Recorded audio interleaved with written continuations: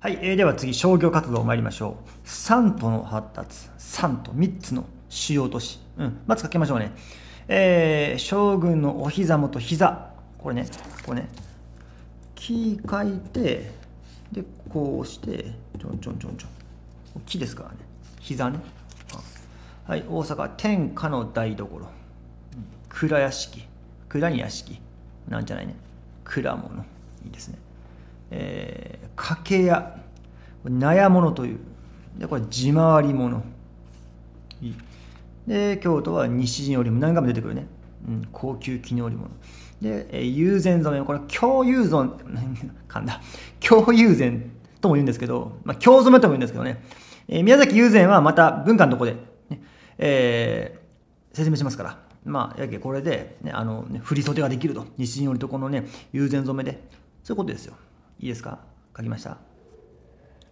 では行きましょう。江戸、えー、3都、ね、3つの主要都市、うん。まずはやっぱり江戸ですよ。江戸。ねえー、ここに将軍がおるわけですからね。だから別名、将軍のお膝元と言われる。将軍のお膝元。あえー、人口はと。これね、最初、江戸のやっぱ、前半はやっぱりね、上方ですよ。京大阪。が中心やった。元禄文化もね、1700年ね、あ上方中心やった。しかしね、1800年、えー、火星文化になるとね、もう完全に江戸が抜きますね。江戸が抜く。ね、江戸の周りもこういうの栄えて、江戸の文化も成熟してくる。えー、そんな感じで、人も集まる当たり前やけど。どれくらいやったでしょう？どれくらい？まあね、もう大体ざっくりでいいけどね。えー、当時例えばヨーロッパ、えー、ロンドンとか結構多いやっぱ80万とかあね、パリとか大体50万ぐらい、うん、中国は北京多いでしょうねきっとね。やっぱり90万ぐらい、ね、ニューヨーク、実はニューヨークまだねできて、まあ、日が浅いですからね、まあ、10万いってない、うん、そんな中じゃあ江戸はどれくらい人口おったんかいきますよ。100万。100万です。100万都市です。今の北九州より多いというね、うん。えー、中国ですよ。江戸の100万押さえておきたい。世界一ですよ世界一。何気にね、すごいですよ、江戸は。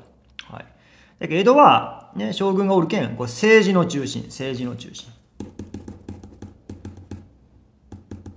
将軍のお膝元。次こう、大阪。ね、大阪は、前回説明したけど、これやったね。日本中から、ね、えー、物が集まるんです、大阪に。ね、物が。各藩の年貢とか、特産品とか、ね、幕府の年貢もそうですよ。ここで換金される。換金。必要なものが買われて送られる。そういうこと。日本のあらゆるものは一旦大阪に集まる。こう覚えとった方がいい。いいですか？えー、つうことだけも大阪湾のね、この、ね、えー、周りには見てください、これ。当時の浮世絵やけど、ね、もう所狭しと。はい、これが蔵屋敷です、蔵屋敷。あ諸藩が年貢とか特産品を送る大阪に。ねまあ、年外で米ですからね。例えば、特産品やったら何ですか？例えばやけ、えー、我が福岡やったら、なん、うん、明太子とか、豚骨ラーメン知らんけど。あえー、なんですか？あ例えば、こう、青森やったら、あリンゴとか、まだ早いか、リンゴは。ね。そんな感じですよ、そんな感じ。ね。えー、なんですか？輪島塗りとかね。あね、そんな、ね、初版の特産品が集まる。ね、で、一時保管される。これ、蔵屋敷です。蔵屋敷。で、ここで、はい、ね、年貢米特産品、ね、これを、蔵物という。つまり、箱は蔵屋敷。中にあるものは蔵物。そんだけ。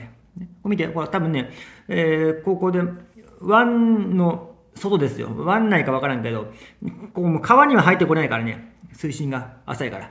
ね、座礁してしまうから。だけどまあ、湾の入り口ぐらいで、ねえー、止まって、ここで小舟に荷物を、ねえー、移し替えるんですね。で小舟がどんどんどんどん運んでくる、どんどんどんどん。小舟が。ね、どんどんどんどんその藩の、ね、専属の商人がおるんですよ。そこの蔵屋敷にどんどんどんどん入れるわけですね。ああえー、ということ。で、換金する。お金管理するの家計や。家計や。ねえー、大体商人がしますから、その藩の社員じゃなくて、お抱え商人がおるんですよ。えー、都合と。だから大阪には天下の、ね、ものが集まるわけ。あらゆるものが。だけ天下の台所。と言われた。大阪にないものはないと。大阪はほら、江戸川政治の中心なら大阪はそう、これ経済の中心や。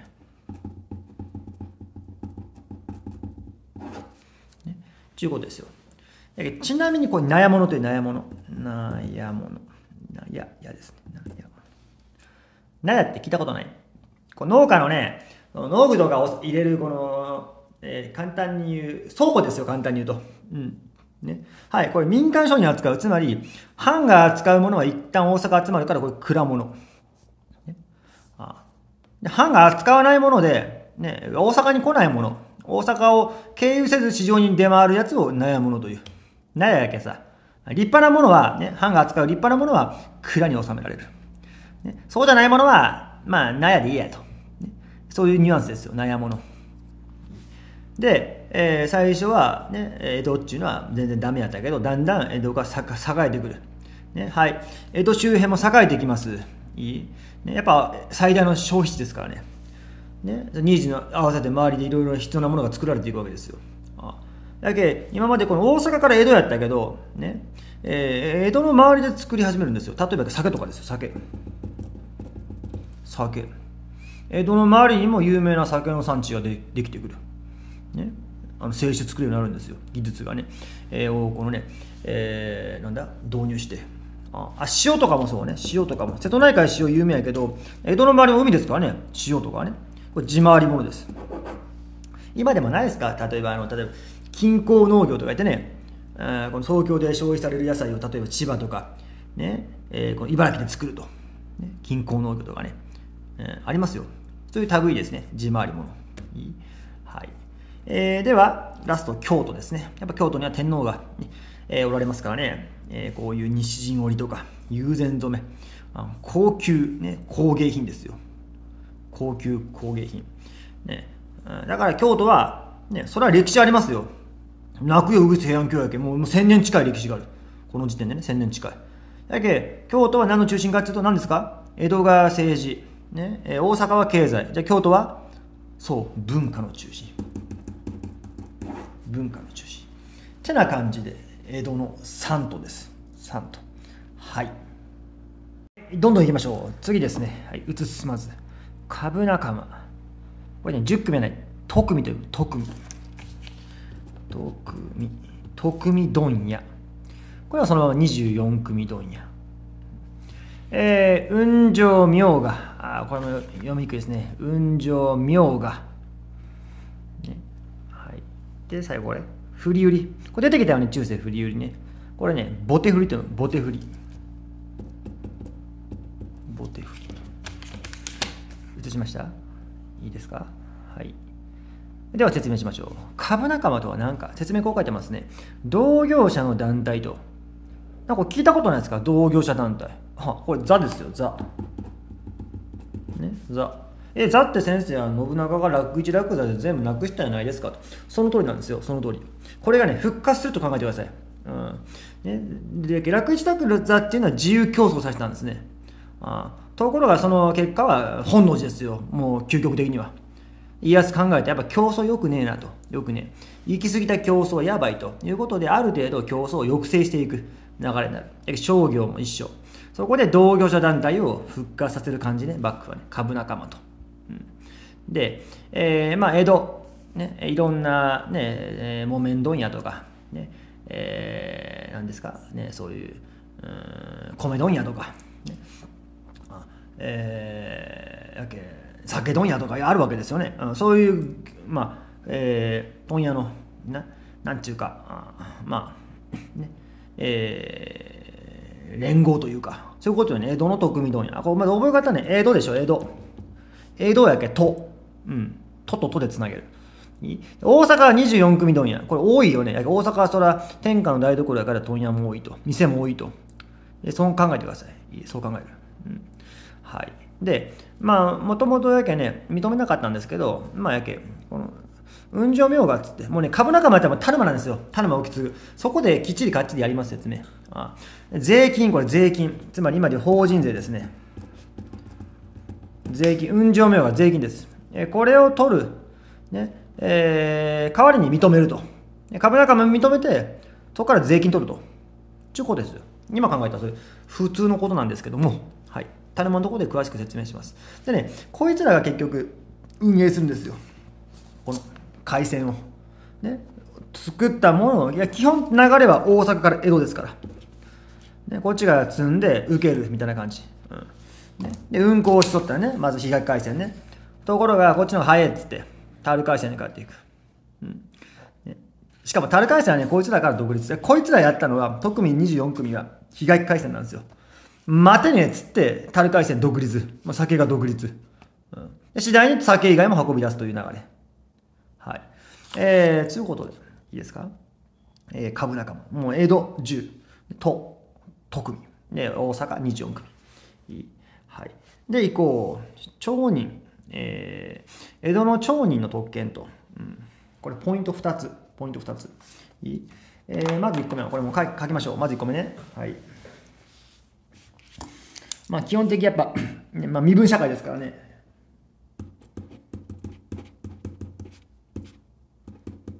身分、職業。で、どうなっていった？ね、居住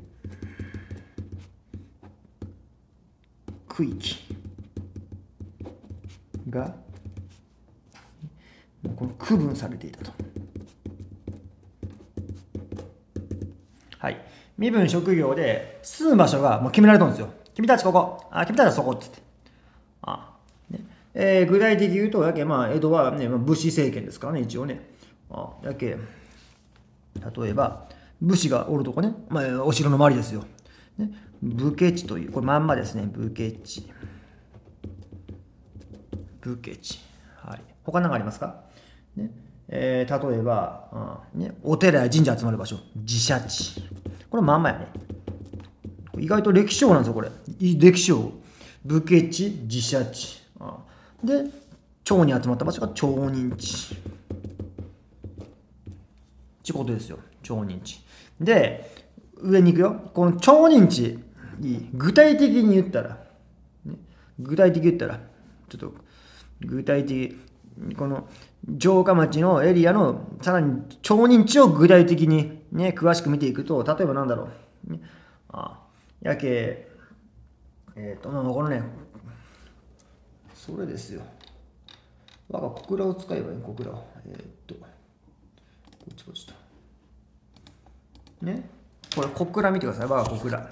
はい。これ、小倉城。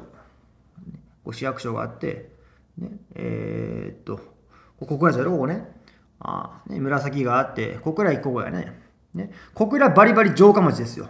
ねえー、元はね、えー、細川やったけど、細川熊本に引っ越して、そこにこの普代の小笠原入っていた。あずっとそれ以来、小笠原や。例えば、この井筒屋があって、ね、あえー、クエスト行こうか。クエストのとこ何します本屋クエスト。ね、こう馬借地でしょ、馬借。だけ馬借が集まったんですよ。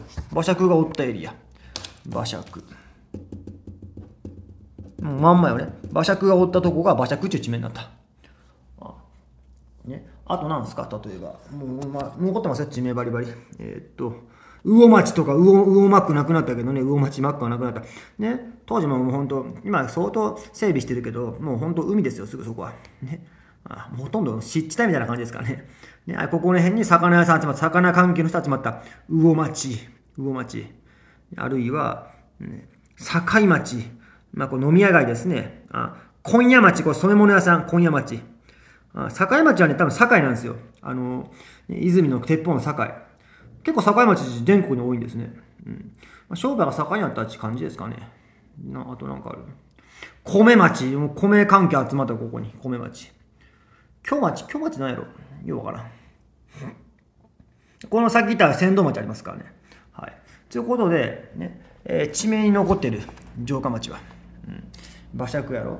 やけ、あとなんですか？魚町行く？魚町。ね。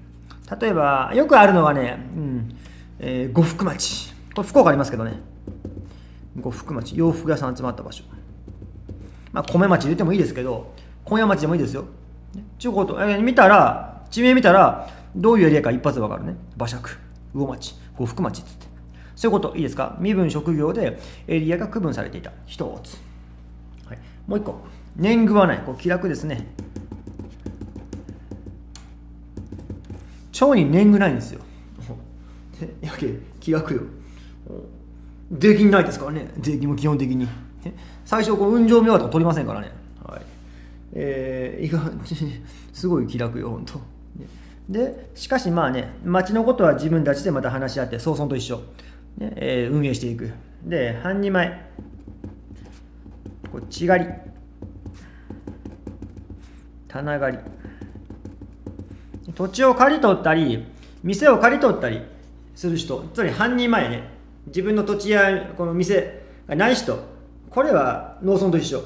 自分土地持ってないね、えー、農民は発言権がなかった。ねえー、彼らは、まあ、調整、ねえー、これに参加できないと。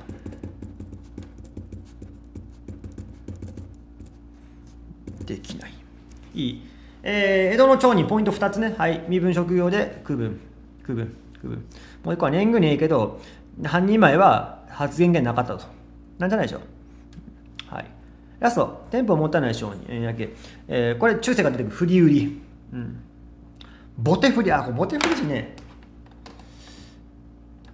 えー、っと、あの日本橋のとこで、東海道53次、あ、これ一番最初ね、東海道53次、一番最初、この五街道の起点、ね、えー、東海道の始まり、こう日本橋、橋やね、これ日本橋よ。見てほら、これ、これ振り売り。あで、ボテ振り。ボテ振りってこの天品活動書なんですよ。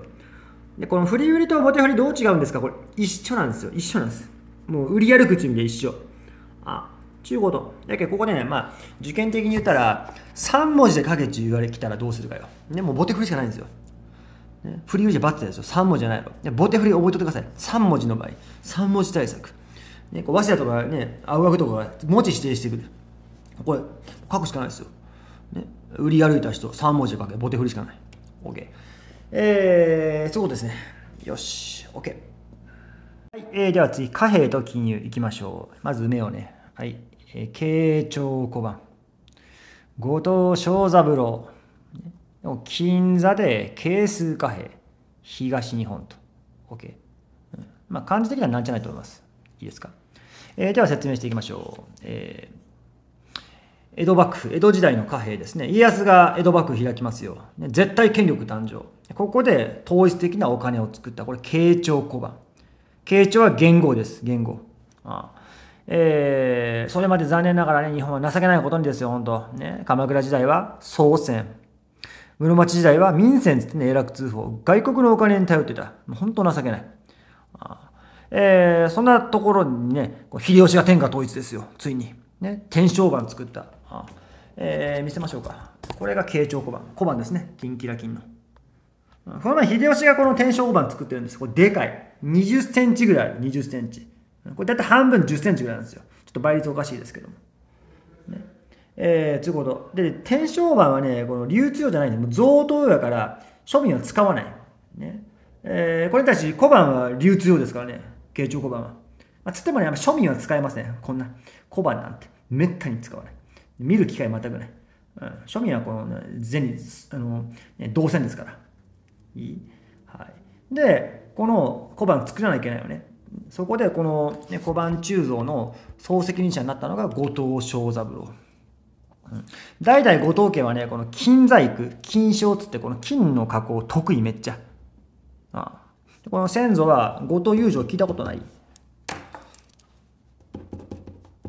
これあの室町文化のとこ出てきますよ。えー、金属加工。この子孫が後藤徳城つって。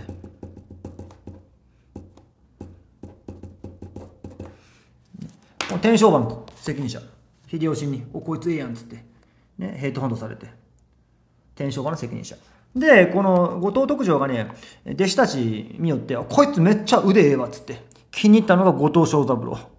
で、この自分の娘をの婿にしてですよ。これ娘婿なんですよ。で、以降、この後藤正三郎を代々この襲名していく。幕府のこのね、えー、小判の鋳造責任者を代々務めていくという感じになるんですよ。後藤正三郎。ね、はい。えー、ということで、えー、この、まあ、ね、小判作るところ、まあ、今で言うな造幣局ってやつ。これ、金座という金座。うん。実は最初ね結構作られるんですよあの江戸もちろんやけど例えば家康が隠居した駿府静岡ねあるいは京都とかにも作られるけどやっぱりねあお金ですからね お金ち、ね、このね世の中のこの人間の活動の一番の中心じゃないですか一番大事なことやんお金っちお金のね、えー、がねなんだ？価値がねそのねえー、ねなんちゅうかね信用がなくなったら終わりですからね、うん、だから後江戸に一本化される。江戸に。それいいことですよ。はい。でポイント。これ係数貨幣という。係数貨幣というのは数えるんですよ。数える。はい。えー、金の単位。聞いたことないですか？単位。量。これまだ下がある部さらに下がある。種。量部種。今も円しかないけどね日本のお金の単位は。量部種、ね、1両2両3両数えていく、ね、時代劇にも出てくるでしょ。黄金色のおまんじゅうですよとか言って大体 HY が持ってくるんですよ。賄賂をねお代官様に送るのも相場決まってますけども。これ1両2両なぜ数えられるかっていうと係数貨幣だから。つまり大きさ重さ形一緒。これが係数貨幣です。これがね銀がまた全然違うんですよ。いやそこがすごい聞かれる。金は係数貨幣ででまたこれねあ使えるエリアが違うんですね。東日本なんですよ。つことはこれ江戸ですね。江戸。大阪はつうとこれまた銀になるんですよ。もうすっごい不便。はい。とりあえず金です。OK 金。はい。で次は銀行か。移しましょう。銀座。これ少量。少量。これがいやらしい。長銀という長銀。定じゃないこれ長銀。豆板銀。西日本。タイはまた後で書く。で庶民は銭座。銭座。江戸近江坂本、えー、民間委託で関越法。いいですか？はい行こうか、えー、銀座。あこれ少量貨幣。少量の招致分かります？これはかり。はかりなんですねはかり、うん。ね、なぜはかりなのか？はい、えー、具体的なのを見ていこう。これなんか細長い感じやね。これ長銀という長銀。細長い。いいでこれはつぶつぶやね。豆板銀です。豆板銀。いい？豆板銀、えー、そういうこと。だからねだったら銀は少量貨幣かっつうと、ね、例えばあ単位いく。えー、っと銀の単位はねここね。あ、えー、これが関門目。関門目。関門目。ちょっと書くとこ見えてなかった。これねこれあね。関門目なんですよ。あこれ重さの単位なんですよ、えー、どういうことかっつうとだから売店行っておばちゃんとじゃあパンちょうだいとじゃあ適当100問目ねと。はいっつってお金出すね。おばちゃんどうします？おばちゃんなんと測るんですよ。測る。はい、百、ああ90問目しかないあと10問目足りないから10問目ちょ、えー、プラスとか言って、うん、あこれちょっと110問目あるけんちょっと10問目返すわっつって。測るんですよ。この測りが測りなんです測り。測らないといけないんですよ。あなぜかっていうと、ね、銀は見てほら形も大きさも重さもバラバラでしょ。だから測らないといけない。金は一緒だから数えるだけでいい。ちゅうことなんですよ皆さん。ね、どっちが便利ですか？係数貨幣と少量貨幣。それは絶対係数貨幣やろ。ね。これ一時測りよったら例えば10分の休み時間でねおばちゃんパンちょうだい売店騒げます？ね。騒げませんよ。無理系ですよ本当パン買えない。そうでしょ。だから係数貨幣すべきなんですよ銀も。ところがしないんですね。これが江戸幕府の癖ですよ。とにかく集中を嫌う。ね。分けるとにかく。分ける。老中も分ける。本願寺も分ける。ね、幕府の菩提寺も分ける。金と銀も分ける、ね、そういうことですよ。西日本。大阪は銀です。江戸は金。大阪は銀、えー、そういうこと。いい？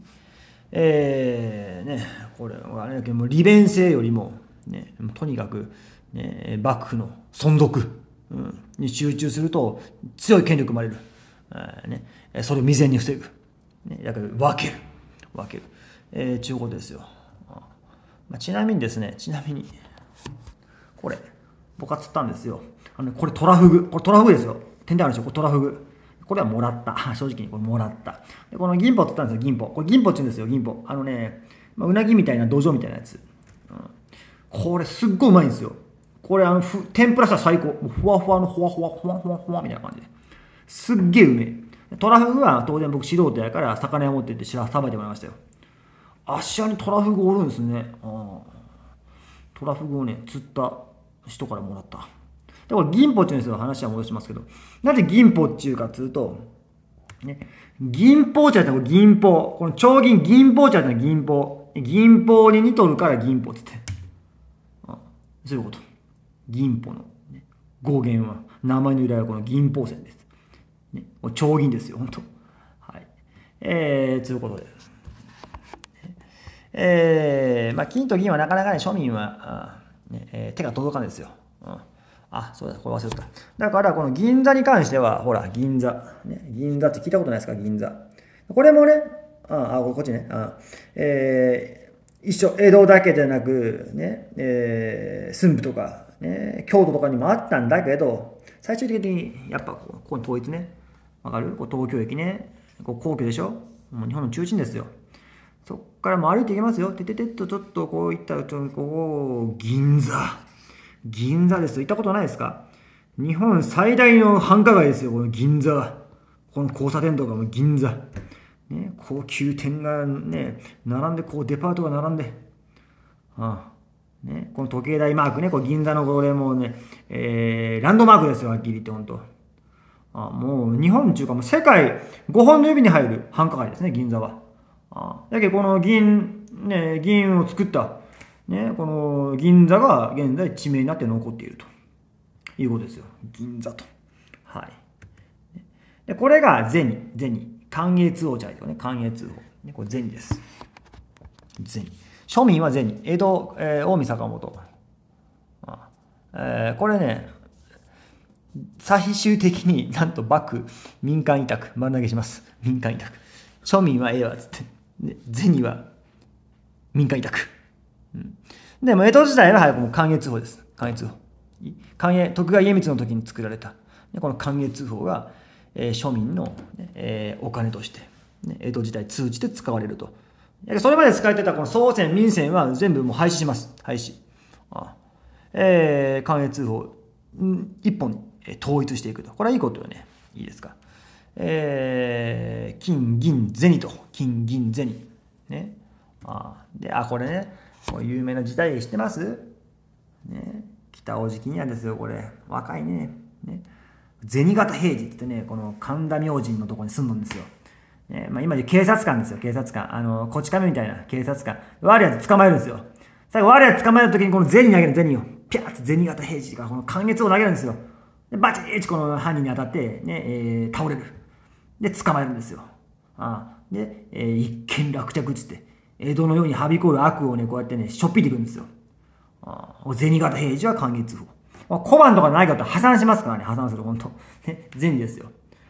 これね、あの、主題歌、ね、あるんですよ。ね、今でも覚えてるけど、男だったら、一つにかけるつって始まるんですよ。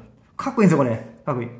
これを僕らがね、こう歌いよった、男だったら、味噌汁ぶっかけるとか言って、味噌汁ぶっかけるやねっていうの、ほんと。